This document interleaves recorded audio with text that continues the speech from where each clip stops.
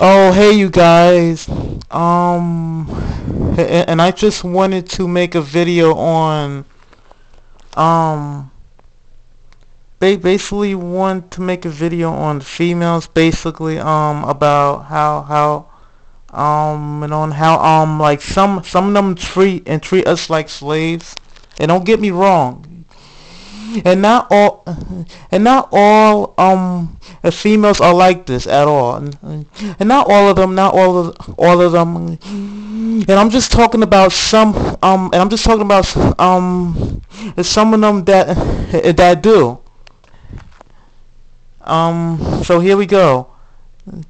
Some um some females um treat us like slaves and don't really let us ha have um freedom by by just um telling us what to do. And and and in my honest opinion and and and, and I just really hate it when when um like females like um when when like um females treat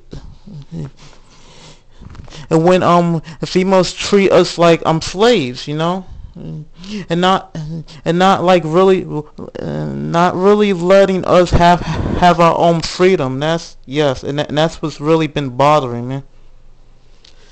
You know yet again and and, and and and and and don't get me wrong and not all females are like that. Some of them are though but some of them are. You know and that's what's you know yeah that's all and we're allowed to um we're allowed to um to have our in our own in our own freedom too. And you know me, and I love having my and I love my freedom.